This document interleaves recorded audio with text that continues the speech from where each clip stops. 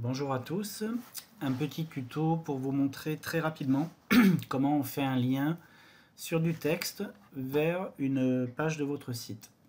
Premièrement, donc on active le Visual Builder, ce que j'ai fait par avance. Ici, vous voyez apparaître un module texte.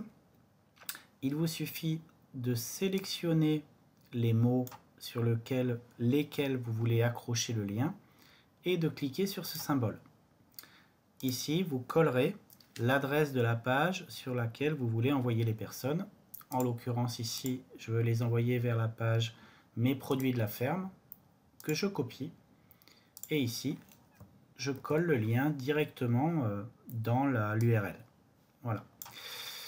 Si cette page, je souhaitais la faire apparaître dans une autre fenêtre, ici je mettrai nouvelle fenêtre. Mais quand vous êtes dans les pages de votre site, aucun intérêt, vous mettez None et vous faites OK.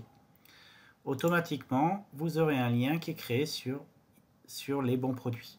Donc par contre, si vous souhaitez faire un lien externe, je vous conseille vivement de mettre un lien vers, euh, vers une nouvelle fenêtre et, euh, et comme ça, lorsque les gens iront sur ce site externe, lorsqu'ils le quittent, ils reviennent dans votre site.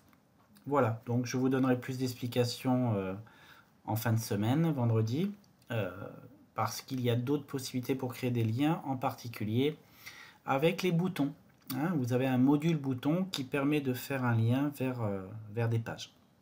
Voilà, merci.